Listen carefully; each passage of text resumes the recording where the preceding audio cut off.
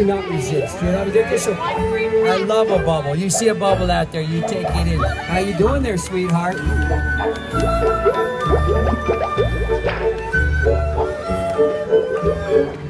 You guys keep dancing while I clean up, all right? Enjoy the bubbles. I'll let you know when we got it clear. But right now, keep it up. This enjoy. Oh, thank you very much, Big D.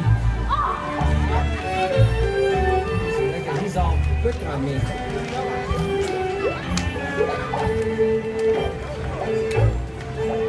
Were you in the Lima? Arctic? Because your fingertips are turning